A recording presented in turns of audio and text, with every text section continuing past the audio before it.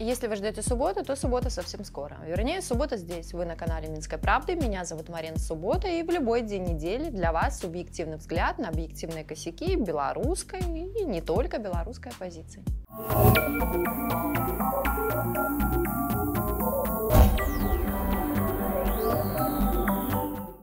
Задолго до западной культуры отмены, которая поломала сотни тысяч жизней, от Джонни Деппа до людей, на чьи судьбы демократической прессе совершенно наплевать, появилась на том же Западе другая культура, точнее, бескультурье. А если точнее, совершенно бескультурное переворачивание всего с ног на голову, если перевернуть выгодно из политической или экономической точек зрения.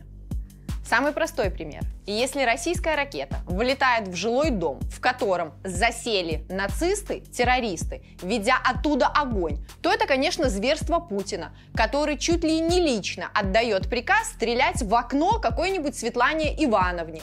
Фотографии убитой Ивановны при этом бодро публикует украинская пресса и разносит по всему миру пресса западная. А фрагменты видео, где Светлана Ивановна после постановочной фотосессии встает, смывает с себя бутафорскую кровь и подмигивает операторам, это уже на Западе не покажут.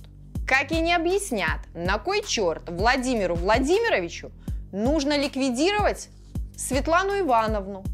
И если открыть британскую методичку военной пропаганды времен еще Первой мировой войны, увидим, что господин Артур Понсенби уже тогда писал, как надо – Враг целенаправленно совершает зверство. А если мы совершаем ошибки, то это происходит без умысла.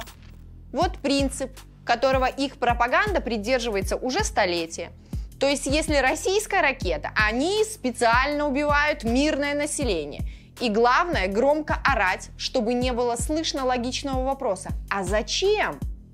А вот если украинская ракета прилетает куда-нибудь в высотку Донецка или Луганска, или на детскую игровую площадку, или на пляж в знойную жару, или еще куда-то, где заведомо не может быть никаких военных, то это, конечно, другое.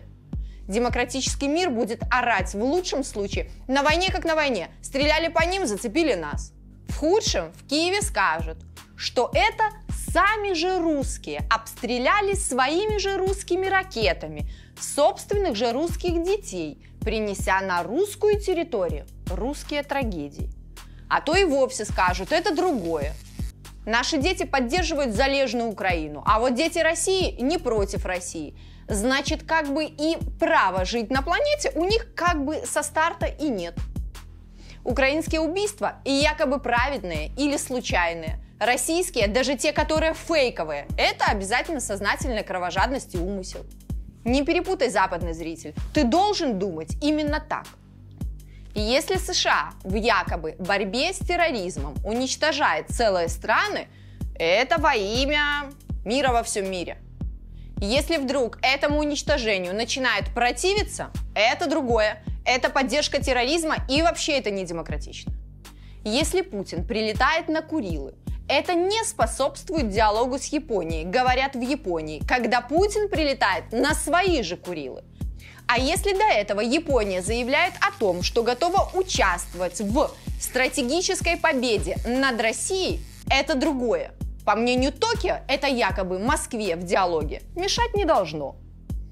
Если Россия говорит, мы обеспокоены убийствами русского населения на Донбассе, мы их будем защищать от киевского режима, и начинает СВО ценой жизни своих солдат, это агрессия. Нужно отменять Россию. Если Израиль говорит, мы убьем всех в войне против Палестины, даже если случайно убьем тысячи невинных детей и убивает регулярно, это якобы другое. Израиль имеет право, он же демократический. Если мальчик хочет сказать, что он теперь в гендерном отношении девочка, или полудевочка, или полумальчик, или табуретка, или полукотик, полуенотик, ну это можно. Потому что свобода слова и свобода выбора. Но если другой мальчик захочет сказать, что бывает только два пола, мужской и женский, это другое. Тут свобода слова и выбора не работают. Просто мальчику тут же закроют ротик, чтобы мог высказаться мальчик-енотик. Мир сошел с ума с подменой понятий. Только сумасшествие это управляемое и искусственное. В Беларуси протесты. Ни в коем случае нельзя нарушать право мирных граждан на демонстрацию своих измышлений, говорят на Западе. В то же время вы не понимаете, это другое. Стоит только на том же Западе кому-то пикнуть против линии партии, на мышек тут же натравливают котиков-силовиков – потому что думать ты должен исключительно демократично и говорить только то, что сказали тебе в демократии. До августа 20-го люди вполне себе бродили по проспектам и улицам Минска, выражали мнение. Но разве кто-то это вспомнит? Это другое. И Беларусь все равно диктатура. Силовики в Беларуси выезжают на задержание. То у одного нож, то у другого пистолет, то третий слетел с катушек. Что делают силовики? Выстрел в воздух, затем в ножку, как в Гродно. Рискуя своими жизнями, но чтобы задержать, допросить и отдать под суд. Или как буквально пару дней назад в Могилеве. Мужчина с ножом бросается на патруль, в кармане у него пистолет – но ребята его просто скручивают. Вы считаете нормальным применять насилие к сотрудникам Нет, милиции? так получилось. Это как должно называться, по мнению Запада? Конечно же, зверство режима. На Западе в этой ситуации инструкция и практика какая? Без предупредительного огонь на поражение. По возможности прямо в лоб.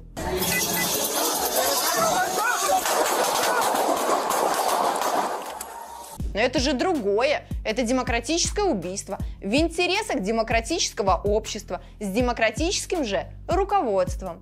А сохранение жизни в диктаторской диктатуре даже преступникам – это все равно неправильно.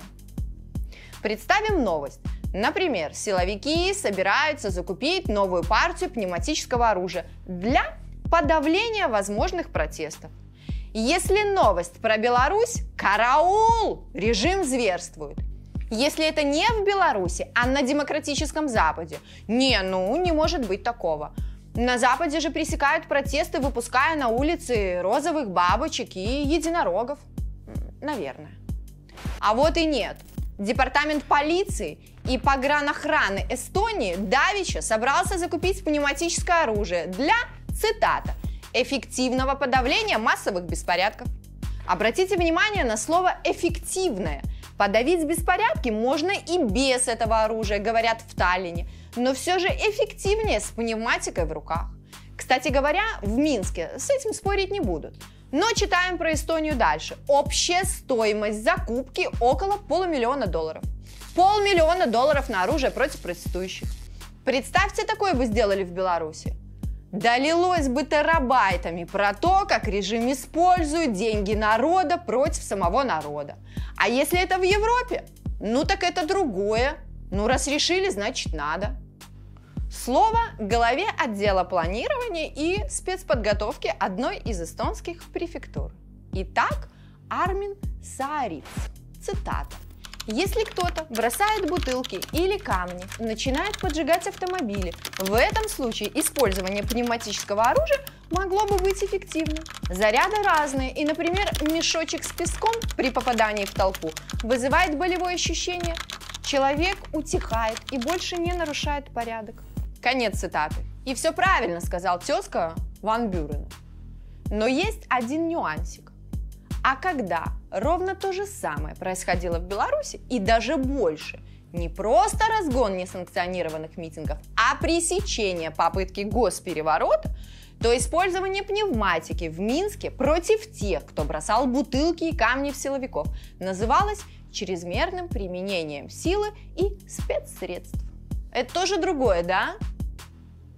Можно не упираться строго в тему уличных противостояний. Если в Беларуси предлагают родителям скооперироваться и через родительский комитет, и только через него, учителя шарахаются от этих вопросов, как от огня, помочь классу своего сыночка или доченьки и сброситься по 10-20 рублей. Это как тут же начинают называть? Поборы, наследие совка и вообще не демократично для социального государства, потому что не может же быть такого в демократиях. Демократии это же другое, а не, то же самое. Одна из уехавших в Штаты по грин-карте, белоруска, вполне себе рассказывает в соцсети, что пришел из американской школы начинающий американец и принес маме бумажку, в которой демократическая администрация американской школы с якобы продвинутой системой образования просит каждого родителя сброситься по 15 долларов на нужды класса. Прилагается списочек, на что конкретно сбрасывается, и специальный конвертик, чтобы сразу было понятно, что это сбрасывается централизованно. И это не какая-то взятка. Были ли крики о том, что надоело год за годом сбрасываться на американскую туалетную бумагу? Ну, или пластилин? Не, не было. Это другое, да? 15 долларов в США – это добровольная помощь школе. 5 долларов в Беларуси – это поборы. Не перепутай. Но нет, наше общество все же начало лучше разбираться в том, что это не другое. Это мы для них другие. И ими же гордо и останемся.